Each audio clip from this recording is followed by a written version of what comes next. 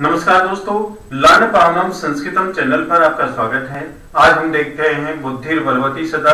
इससे संबंधित लेसन में आए हुए पर्यायवाची पद, विलोम शब्द और प्रत्यय। प्रत्यय अलग अलग करना सीखेंगे। देखिए, वनम। वनम का पर्यायवाची काननम लिख सकते हैं। काननम। काननम। शीघ्रम। शीघ्रम का तूर्णम लिख दीजिए।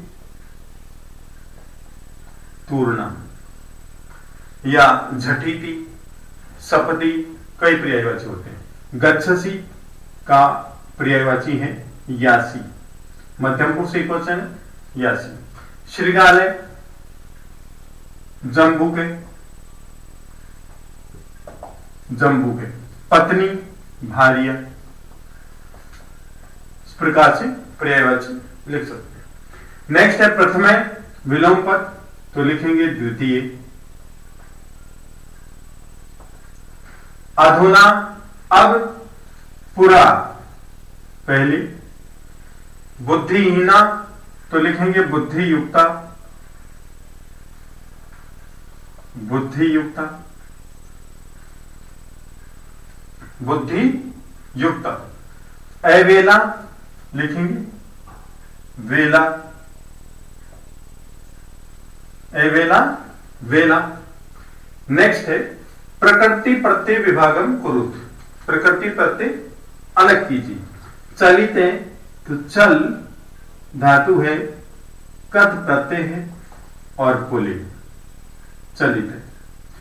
आवेदित है आवसर्ग विद धातु, फिर ऋणिच प्लस कथ लब्ध है लभ प्लस कथ पुलिंग ये भी पुलिंग दृष्ट है, दृष्ट धातु कथ प्रत्यय पुलिंग गते गम धातु प्लस कत प्रत्यय पुलिंग पठित है पठ धातु ते प्रत्यय पुलिंग वैसे शुद्ध उच्चारण इसका तय प्रत्यय है तय बोलते हैं इसको। लेकिन कत बोल दिया जाता है हते हन प्लस तय प्रत्यय। पुलिंग तो दोस्तों, यदि आपको ये वीडियो पसंद आए तो आप लाइक करें शेयर करें कमेंट करें सब्सक्राइब करें। धन्यवाद।